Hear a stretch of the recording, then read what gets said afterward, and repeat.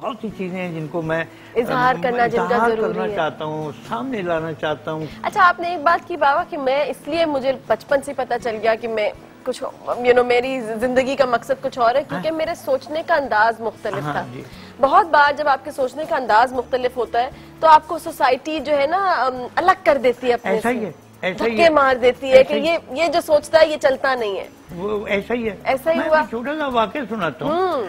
मैं एक राह से गुजर रहा था तो रात का वक्त था तो आ, मुझे किसी कुतिया के पिल्ले की आवाज़ आई चिल्लाने की छू छू करता वो आ रहा है तो मैं हैरान हुआ कि यहाँ पे कुत्ते का बच्चा कहाँ से आ गया। तो मैं जरा झुक के देखा तो एक बड़ा खूबसूरत सा काला सा पिल्ला है कुतिया का बच्चा। वो बैठा हुआ वो बैठा हुआ है वहाँ पे। मैं बड़ा हैरान हुआ कि ये यहाँ कहाँ आ गया? तो मैंने उसे अपनी गोद में उठा लिया बेटा। जब गोद में उठा लिया कुत्ते के बच्चे को काला था और काला रंग मुझे बड़ा पसंद है। हाँ। काली कोई चीज़ हो उस पे भी आएँगे। वो उस पे ये है कि वो तो वो कुत्ते के पिल्ले को मैंने उठा लिया तो मैंने देखना कि बच्चा आया कहाँ से। हाँ। तो थोड़ी देर मैं इधर उधर जब देखने लगा तो मैंने देखा कि साथ उधर खेत के किनारे कुतिया बैठी हुई है और लेटी हुई है। और पाँच छह पिल्ले उसका दूध चुसक रहे हैं बैठे हुए बड़े मज़े से। हाँ। और बड़े सुकून से कुतिया जो है वो लेटी हुई है। जैसे दीन दुनिया की सारी राहतें उसके पास हैं। जब माँ अपने बच्चे को दूध पिलाती है बेटा तो उस वक्त वो ना ज़मीन पे होती है ना आसमान पे होती वो खुलत में बैठी हुई होती है।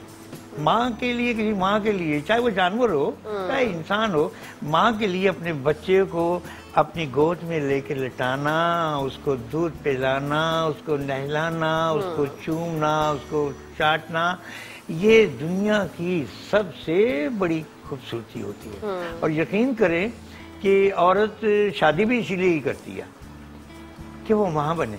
हम्म, फितरत ने उसके अंदर वो चीज़ डाल दी होती है। है जी? और वरना ये जो शादियाँ वादियाँ होती हैं कुछ अच्छे ताल्लुकात नहीं रहते? एक दूसरे से वो ऐसी ऐसे तो नहीं कहे बाबा कोई नहीं। ऐसी नहीं, बात नहीं है। शा, शादी इसलिए भी की जाती है कि वो आपको हम सफ़र मिले कोई आपको ज़िंदगी का साथी मिले कोई आपको दोस्त मिले। तो हम सफ़र बंदे की बन ही नहीं सकती। पूछिए क्यों? क्यों? ये घर में रहने वाली चीज़ है बेटा। तो? मुझे ये बताएँ आधी रात का वक्त है हाँ। हंगामा हो गया है हाँ। तो खामदा अपनी बीवी को लेकर बाहर निकलेगा? इसलिए अच्छा मुझे नहीं ये निकल सकता। हाँ। अच्छा मुझे ये बताएँ दफ्तर में कोई परेशानी है कोई और परेशानी है? घर आके बेगम एक होगी जिससे शेयर करेगा? बात ये चीज़ें घर के अंदर ही है। बाहर के लिए तो नहीं मेरा बाबा का इख्तलाफ है लंबा। बाहर की चीज़ें। अच्छा, अच्छा बात तो वो कुतिया से वो हो रही हाँ, थी तो वो हाँ। कुतिया जो है मैंने कहा कि ये बच्चा मेरा हाल राह भूल गया है। अच्छा, माँ को भूल गया है देखा है इधर भटक के आ गया सड़क के किनारे। मैंने उसे उठाया प्यार किया और अपनी इस चादर से ये जो दरीदा चादर है ना ये सुराखों वाली है। नहीं ये वो तो नहीं अच्छा, है अच्छा। क्योंकि ये कोई पचास वर्ष पहले का किस्सा है। तो इस तरह की चादर थी तो मैंने उसको इसका ऐसे करके पूछा उसकी गिद्दें आई हुई थी वो साफ़ की नाक वाक साफ़ करके प्यार से उसे प्यार से कुछ खाने को तो था नहीं मेरे पास जो देता। हाँ। तो जब ना हो तो प्यार इन चीज़ों को कवर कर लेता अच्छा। दुलार कवर कर लेता हाँ। बच्चे के प्यार भूख खिलाने मिटा देता है थोड़ी हाँ भूख बच्चे के लिए कुछ खाने को ना हो हाँ। तो माँ भी उसको दुला मेरा दुलारा मेरा प्यारा उसको मोहब्बत देती है तो भूल जाता अच्छा मैं उठा के तो जब मैंने देखा तो मैं उसके पास कुतिया के पास उसको लेके गया कुतिया ने जब वो बच्चा मेरी गोद में देखा तो वो तो कुतिया तो यूँ जैसे गुर्रा रही है जैसे मैं उसको वापस करने नहीं आया बल्कि उसको छीनने आया। आया हूँ। वो उसने मुझे यूँ करके देखा तो मैं उसकी बॉडी लैंग्वेज से समझ गया कि इसकी क्या फीलिंग है। अब मैं सोच में पड़ गया कि इसको क्या तकलीफ़ है। बहरहाल वो बच्चा मैंने बड़े धीरे से प्यार से मोहब्बत से नीचे रख के कुतिया की तरफ़ उसको थोड़ा सा धकेल दिया। तो कुतिया गुस्से में खड़ी नहीं हो गई। उठ के बच्चों को झटक दिया। अच्छा। दूध पिलाना बंद कर दिया। वो आ दिया वहू वहू मुझे करना शुरू किया। कुत्ते को आके उसने वो बच्चे को उसको आके वहू वहू करना शुरू करके चल दफाओ भाग यहाँ से निकल यहाँ से मेरे करीब मत आना। उसकी बात का यही मतलब था। हाँ। मैं ये अजीब सा किस्सा है। हाँ। मैंने उसे पचकारने की कोशिश की लेकिन उसका गुस्सा कम नहीं हुआ। मैंने कहा इलाही मैं क्या करूँ? मैं तो रास्ते में हूँ रात का अब मैं वहाँ से चल दिया बेटा। अच्छा। जब चल दिया तो कुतिया ने उसको धकेला और गुस्से में आके उसको वो बच्चा फिर मेरे पीछे आ गया। माँ को छोड़ के फिर मेरे पीछे आ गया। जब कुतिया ने देखा कि वो एक खासा मेरे पीछे आ गया है और मैं भी ऐसे मुड़ मुड़ के देख रहा था उसे तो वो कुतिया ने जब देखा कि ये अब मेरी रेंज से दूर हो गया तो कुतिया फिर वहीं लेट गई और बच्चे उसको दूध पिलाना शुरू हो गए। अब मैंने कहा मालिक मैं क्या करूँ? मैं खामोश हो गया तो मेरे मन में आई इस बच्चे को मैं साथ ही ले जाता हूँ। मैंने दबे अल्फाज में अपने अंदर से एक मैसेज भेजा कुतिया को अपने तरीके से। मैंने मैसेज भेजा कि तुम आई डोंट नो कि तुम इसे क्यों नहीं अपने करीब लाना चाहती तो क्या मैं इसको ले जाऊँ? तो मुझे उसने कहा कि तुम ले जाओ इसे। ये कैसे पैगाम अब पैगाम ये होते हैं। आप मैं आप मुझे पैगाम भेज सकती हैं मैं आपको पैगाम भेज सकती बगैर कुछ कहे। ये ये क्या चीज़ मामूली सी बात नहीं ये। ये तो कोई ऐसी इंसान को इंसान को भेजे तो समझ आती है। हैं? लेकिन इंसान जानवर को भेजे और जवाब भी आए। आपको मैं बताऊँ कि कुत्ता जो होता है ना इंसान से बेशतर मामलात में इससे बड़ा है। ऊपर है। इसके बाद मैंने अपनी किताबों में लिखा है इसके पास ऐसी ताकतें जो इंसान के करीब तक नहीं आई हैं। कुत्ता तो आसमान को देख लेता है फरिश्तों को उतरते हुए देख लेता है बलियात को हशरात को आसमान से नीचे नजूल उनका नजूल देख लेता है। आफत आ रही हो दिल्ली में तूफ़ान आ रहा है तबाही और लाहौर का कुत्ता उसको सूंघ लेगा पहले ही। उसकी अच्छा। कुत शवामा इतनी तेज होती है और दिमाग की लहरें इतनी तेज होती हैं कि वो मैंने अपनी किताबों में लिखा बड़ी भरपूर तरीके से काजल को कोठी में लिखा अच्छा। मैं तो उसने कहा कि ले जाओ हाँ। जैसे मैंने अपनी किताब प्यार रंग काले में एक वो जलेबियाँ निकालने वाला का ज़िक्र किया जो जलेबियाँ निकालता था और उस पर अल्लाह का नाम लिखता था और वो मरीज़ को खिलाता था तो वो शफा हो जाती थी मैं उसको मिलने गया जलेबियाँ मुफ़्त खाने के लिए हम्म, हम्म। मुझे खाने पीने का बड़ा था तो मुफ़्त वो पैसे नहीं लेते थे अच्छा। किसी अच्छा। आप गई उनके पास तो, बाबा मेरे सर में दर्द रहता है। वो कहता है आपका नाम क्या है? मेरा नाम आसमा है। अच्छा तो वो आपके इस इस- आपके आदात के हिसाब से जलेबी को डिज़ाइन करता था उसके अंदर। अच्छा।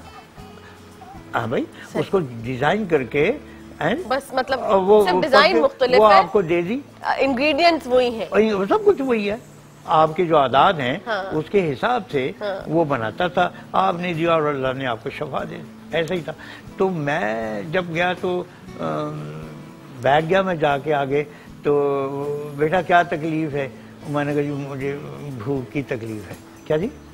भूख भूख की तकलीफ़ तकलीफ़ है मतलब मैं नजीदा हूँ चवल हूँ पंजाबी में जिसको कहते हैं। खाता पीता रहता हूँ। बस जलेबियाँ खाने आया हूँ आपकी कोई है, अच्छा। कैसी खूबसूरती हाँ, कैसी मज़ेदार बात। बात। भूख की मुझे भूख की तकलीफ़ है। मुझे भूख की तकलीफ़। हमारे यहाँ हमारे माशरे में बहुत से लोगों को भूख की तकलीफ़ है वैसे। हाँ। वो थोड़ी मुख्तलिफ़ भूख भी है लेकिन अच्छा फिर क्या हुआ? भूख की तकलीफ़ है। हाँ, एक बात याद आ गई मज़ा आएगा अच्छा। ये। बातें आप कहाँ से सुनेंगी हाँ। तो उसका क्या हुआ मुझे ये बाबा ये एक वाक्य बात नहीं नहीं वो उस बच्चे का मैं कुत्ते- के बच्चे की भी बात करता हूँ हाँ। पहले मैं अच्छा, एक पहले वाक्य एक और वाक्य। छोटी थी सी मुख्त हाँ, हाँ, तो एक पेंडू कहीं दिल्ली शहर में आ गया हाँ। घूमता घामता हुआ तो उसको कहीं अजाबत की ज़रूरत महसूस हुई कि मुझे कहीं पर वॉशरूम मिले तो मैं जाऊँ। तो शहरों में वॉशरूम कहाँ है? कराची में भी आपको कहीं नज़र नहीं आएगा है जी? वैसे मज़ेदार बात है लोग कहते हैं गाँव में ऐसे वॉशरूम्स कहाँ? बाबा कह रहे शहरों में वॉशरूम्स कहाँ? हमारे शहरों में जरा नहीं है क्या करें? हाँ लेकिन आप दुनिया में चले जाएँ तो पब्लिक टॉयलेट्स बनी होती हैं और साफ़ सुथरी वहाँ पे अटेंडेंट होगा वहाँ पे आप जाएँ मज़े से। लेकिन आप। यहाँ पे घूम लें तो हमारे वो बंदिश नहीं है ना? नहीं वो चीज़ नहीं है। हम लोग बहुत पीछे हैं। एनीवे हाँ। तो वो पेंडू आ गया तो उसको बड़ी तकलीफ़ हुई कि मैं करूँ क्या? वो बिल्कुल नाक तक आ गया उसका मसला। और बंदा को जब ये सिलसिला हो ना तो बर्दाश्त नहीं होती उससे। अच्छा। तो उसने देखा तो वहाँ पे हकीम अजमल खान साहब का उसको बोर्ड नज़र आया हाँ। हकीम साहब कोई बैठे हुए झाँक के देखा तो पहले जमाने में हकीम ज़मीन पे बैठा करते थे आगे संदूकचा सा रखा हाँ। हुआ है दवाएँ लिख लिख हाँ। दे रहे हैं बड़ा खूबसूरत हाँ, अंदाज होता था तो लाइन लगी हुई थी तो आहिस्ता आहिस्ता लाइन छिड़क रही आगे आगे वो उसको बड़ी ज़ोर की आई हुई थी हाँ। वो भी जल्दी से दो चार बंदे क्रॉस करके आगे भाई मुझे बड़ी तकलीफ़ है हाँ। तुम बाद में देख लेना मैं मर जाऊँगा अगर मेरा इलाज ना जल्दी हुआ। हाँ। हाँ चलो बाबा आप आगे चलो। वो पेंडू आ गया आगे बैठ गया। हाँ। बाजू निकाल के हकीम साहब के आगे रख दिया। अच्छा। तो हकीम साहब ने नबज का पहले नबज देखा करते बिल्कुल थे देखा करते वो आले वाले नहीं लगाते थे हाँ हकीम सईद के पास मैं गई हुई हूँ तो वो नब्ज हमेशा देखा करते थे। हाँ। वही एक पुराने बंदे रह गए थे हाँ, हमारे। हाँ। तो वो हाथ आगे कर दिया तो नीचे से तहमत उसने ऊपर कर दिया। और बैठ के तो वहीं पर वो फारग हो गया। वो हकीम साहब कहते हैं, भाई क्या तकलीफ़ थी? कहता, जी, यहाँ आपके पास पहुँचते ही मेरी तकलीफ़ रफा हो गई, मुझे आराम आ गया। उठ के तो भाग गया। हकीम साहब हैरान हो गए कि इसने तो यहाँ पे गलासत डाल दी। कहता है यही तकलीफ़ थी मैं तकलीफ़ से फारिग हो गया मैं मुझे आराम आ गया। दवा के आपकी दवा के बगैर ही आराम आ गया। आपने हाथ पकड़ा और मुझे आराम आ गया। अच्छा मज़ेदार ये सारे किस्से। ये बहुत सारी बातें अभी और भी हैं। अब आजकल के लोगों की भी बात करेंगे कि क्या हमारे अंदर वो चीज़ें हैं जिनकी हम वैसे तो बड़ी तारीफ़ करते हैं, लेकिन जब अमल करने पे आते हैं तो पीछे रह जाते हैं। बहुत सारी किस्से, बहुत सारे किस्से, कहानी कहानियाँ, बहुत सारी मज़ेदार बातें। एक छोटी सी ब्रेक लेते हैं। वक्फे के बाद आपको ज्वाइन करेंगे बाखबर सवेरा में। आज हम गुफ्तु कर रहे हैं बाबा मोहम्मद याहिया खान से।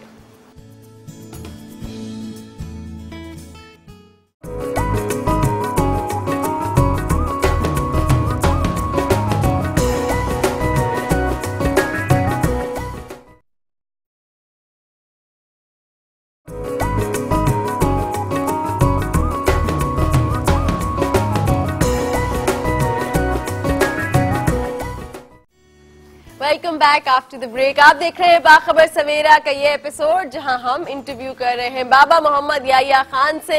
आप भी पार्टिसिपेट कर सकते हैं, आपके भी कोई सवाल हो, हमें लिख भेजिए हमारा फेसबुक पेज असफा मुस्तफ़ा खान। और इसके अलावा आज एसएमएस पे आप जवाब दे रहे हैं कि आपके ख्याल से ऐसी कौन सी तीन खूबियाँ हैं जो कि किसी इंसान की कामयाबी में बहुत बड़ा किरदार अदा करती हैं। आप जवाब दे रहे हैं एसएमएस करके फोर सिक्स फोर सिक्स पे, और जिसने किए ज़्यादा ज़्यादा एसएमएस आपके लिए गिफ्ट हैम्पर्स हैं सईद गनी और पिज्जा पॉइंट की तरफ़ से। बाबा मोहम्मद याहिया खान हमारे साथ मौजूद हैं। अच्छा बाबा ब्रेक पे जाने से पहले हमने बड़ी मज़े मज़े की बातें की, बहुत मुझे मज़ा आया। अब मैं आपसे पूछना चाह रही हूँ कि जैसे आपने बताया तीन खूबियाँ कौन सी होनी चाहिए और मुख्तलिफ़ आपके मुशाहिदे जो रहे हैं। मुझे ये बताएँ कि अब अगर आप देखते हैं, आप जिस मुकाम पे आप पहुँचे हुए हैं अब अगर अपने इर्द गिर्द आप देखते हैं, मुझे पता है आपको ये बात ज़्यादा पसंद नहीं अगर मैं कहूँ कि आप जिस मकाम पे पहुँचे, लेकिन हमारे लिए तो आप एक बहुत बड़ी बुज़ुर्ग शख्सियत हैं। अपने इर्द गिर्द जब आप देखते हैं और इतनी गल, गलतियाँ नज़र आती हैं इतने मसाइल नज़र आते हैं तो वो शख्स जिसने अपनी सारी ज़िंदगी ऐसी गुफ्तगु में गुजार दी कि लोग सुधर जाएँ। जब ज़िंदगी के इस मकाम पे आके भी दाएँ बाएँ देखें और उतना सुधरा हुआ माशरा नज़र नहीं आए तो अंदर से कहीं गुस्सा नहीं आता कि लोगों को बात क्यों नहीं समझ में आती? ये बात आप बिल्कुल ठीक कह रहे हैं। असल में हमारा माशरा ही बीमार माशरा है। नासूदा माशरा है। और जब किसी माशरे में नासूदगी और कोई आरिजा जड़ पकड़ लेता है तो उसके पाँव उखड़ जाते हैं बेटा। उनके मसले खराब हो जाते हैं। फिर दाएँ बाएँ आए बाएँ कुछ नहीं देखते। इखलाकी तकाजे दीनी तकाजे रूहानी तकाजे इंसानी तकाजे।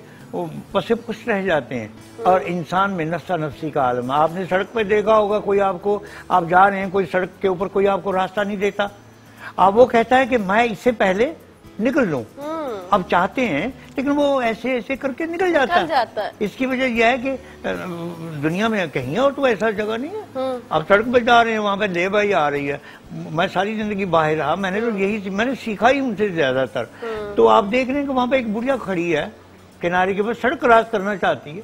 आधा फरलांग दूर ही ट्रैफ़िक जो है ना वो स्लो स्टडी हो जाती है और करीब उसको मौका दिया जाता है। और जब तक वो अपने पाँव दूसरे फुटपाथ पे रख के चलना नहीं शुरू कर देती ट्रैफ़िक रवा नहीं होती। यहाँ पे तो माई बुढ़ी आ जाए कोई जानवर आ जाए कोई बुढ़ा आ जाए कोई राहगीर आ जाए तो उसके ऊपर ही चढ़ा देते हैं। यूँ यूँ करके निकाल देते हैं वो बेचारा वैसे ही गिर जाता है। अच्छा ये तो आपने इज्तमाही तौर पे बात की जो कि बिल्कुल दुरुस्त है। अगर इनफरादी तौर पे भी बाबा इसको देखा जाए हाँ। तो एक शख्स के अंदर चले बहुत सारी बातें हैं। मैं उसमें से एक एक करके आपसे पूछती हूँ। एक चीज़ तो ये कि जब आप कुछ नहीं भी, जैसे मैंने अगर आपसे जितना सीखा है कि नहीं, मुझे ये मत बोलो कि मेरा मकाम ये है, मुझे ये मत बोलो कि बुज़ुर्ग, के आजी का ये लेवल, इनकसारी का ये लेवल। और अगर मैं अपने इर्द गिर्द, अपने ही हम उम्र लोगों में नज़र दौड़ाऊं तो हम अगर इतना सा भी सीख लेते हैं ना तो हम उसको इतना समझते हैं। और हम कहते हैं कि तुम मुझे सिखाओगे। कोई अगर छोटा यहाँ पे अगर मुझे दुरुस्त कर दे अगर मैं कोई भी और होस्ट हूँ कि आपने ऐसे नहीं ऐसे बोलना है या आपने कैमरा ऐसे नहीं ऐसे उठाना है? तो वो एक अना जो है वो इतनी बढ़ जाती है कि तुम मुझे सिखाओगे। तो ये क्यों है? बेटा मोटी सी बात है। फितरी तौर पे इंसान दो जहतों में ज़िंदा रहता है जीता है या जी सकता है। एक रूहानी इकदार है और एक दुनियावी इकदार एक मादियत है एक रूहानियत है। जब आपकी रूहानी कदरें इकदार कमज़ोर पड़ जाएँगी और मादी इकदार और कदरें सर उठा लेंगी तो यही सूरत पैदा होगी बेटा। नफ्ता नफसी का आलम पैदा होगा सीखने सिखाने का माहौल ख़त्म हो जाएगा इंसानियत की रिस्पेक्ट का माहौल जो है वो ख़त्म हो जाएगी और इंसान के अंदर अना का शैतान जो है हैं, वो अपना वो सर निकालना शुरू कर देगा। एक वक्त में वो आपकी खोपड़ी के ऊपर से गोमड़ा बना के पूरा सर सिंग बना देगा। उस वक्त आपको कोई नज़र नहीं आएगा ये मेरी बहन है ये मेरी माँ है। ये औरत है इसको हमने तकदस देना मोहब्बत देनी है प्यार देना है तकरीम देनी है। बसों में आप देख लें वैगनों में क्या हाल है? बसों में क्या हाल है? हाँ, हाँ। बुढ़ी माई सत्तर वर्ष के अंदर आ जाए पूरी बस अलर्ट हो जाती है। ड्राइवर तक अपना शीशा सीधा कर लेता। उसकी उम्र कोई नहीं देखता। सिर्फ़ ये देखते हैं कि उसके ऊपर दुपट्टा है उसने औरतों वाले कपड़े पहने हमारी इखरा की हालत तो ये बेटा हो गई। बाबा कल मैं इंटरनेट पे एक तस्वीर देख रही थी जिसमें हमारी बहुत सारी होस्ट्स की तस्वीर डाली हुई थी और लिखा हुआ था मोटा मोटा कि यही औरतें हैं जो माशरे को खराब कर रही हैं। अगर औरत सुधर जाए तो मर्द उसको कभी नहीं छेड़ेगा। हम्म? जहाँ मैं ये नहीं कह रही कि हम बहुत यू नो हम नेक मैं अगर अपनी बात करूँ कि मैं बहुत नेक हूँ, पारसा हूँ, लेकिन मेरा इख्तलाफ इस जुमले से है कि अगर वो ठीक हो जाए तो मैं ठीक हो जाऊँगी।